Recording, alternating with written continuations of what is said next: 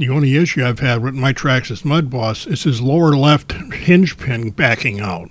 I've gotten a few emails from other new Mudboss owners with the same issue. Then last night I got an email from a current Mudboss owner and a guy that owns several other Slash trucks from Traxxas and does the same fix on all of them. As so often happens, the fix is really simple once you see it.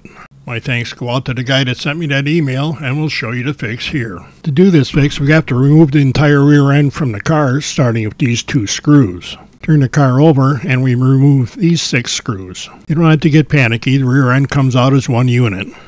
After backing out the threaded portion of the pin, I needed a pliers to get it pulled out past the motor. Then I just turned the pin around and inserted it through the boss on the other side of the control arm. Then use the driver to screw it down until it seats. That's all there is to it. I did check the suspension arm to make sure that it moves smoothly, but I don't know how doing this would change that. Then we bolt the rear end back on the chassis. I started with these upper screws because they were the easiest to line up and make sure that the unit was set in the chassis right. Then reinstall the six screws on the bottom of the chassis and you're about ready to go.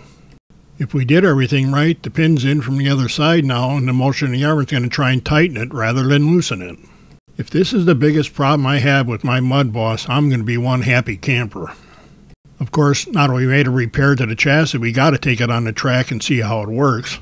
And while it should come as no big surprise, the Mudboss drives great with all the suspension arms secure.